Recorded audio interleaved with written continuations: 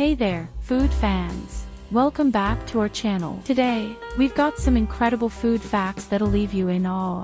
Let's get started. Ever heard of exploding grapes? If you microwave grapes, they can pop like tiny fireworks. Just remember, it's cool but be safe. Want sweeter pineapple?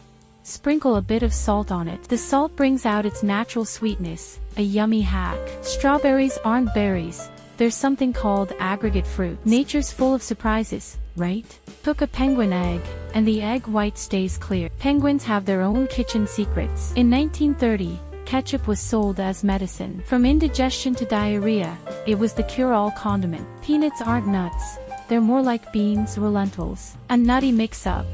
Cooking an ostrich egg. Get ready to wait. It takes a whopping 40 minutes. Honey lasts forever.